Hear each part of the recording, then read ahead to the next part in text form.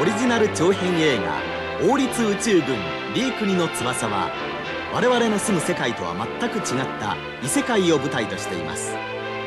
高等無形になりがちなこの異世界にリアリティを与えるためスタッフは数百枚のイメージボード設定を作成しました。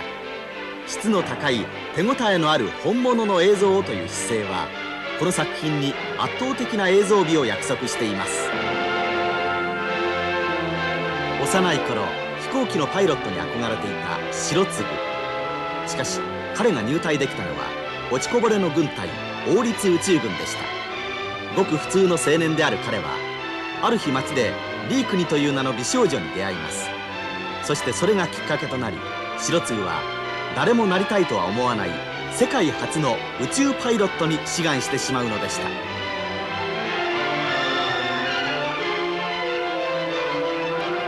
かくして宇宙計画はスタートし白継にも厳しい訓練が始まりました。しかし何せ世界で初の宇宙飛行士。その訓練も往々にして的外れなものが多かったのです。そんな中で徐々に国家的な有名人になっていく白継確かに孤児院の子供たちに喜ばれても自分は本当にこれでいいのだろうかと彼は悩みます。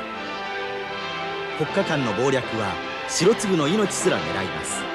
自分に向けられた暗殺者と戦う白継かろうじて助かったものの自分の目指していた世界はこんなものだったのだろうか。ロケット発射の日は近づき何も知らないリークリに別れを告げます。しかし打ち上げの日とうとう戦争が始まりました。破壊と死と争いの中ついにロケットは点火されゆっくりと大空への上昇が始まりました。地上のもの全てを照らして誰もが成し得なかった高みへ登っていく白粒。彼はそこで何を見るのでしょうか？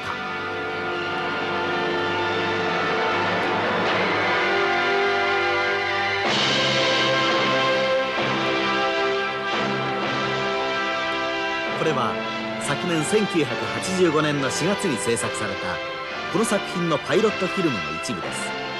これが完成されてからさらに1年。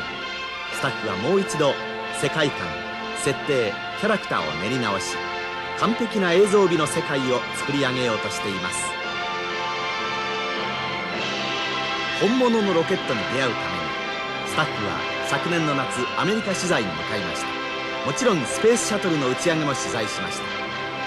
そして今全スタッフはこの作品に全てをかけて打ち込んでいます。来年の春史上最高と自信を持って言える映画を目指して。王立宇宙軍リークニの翼。ご期待ください。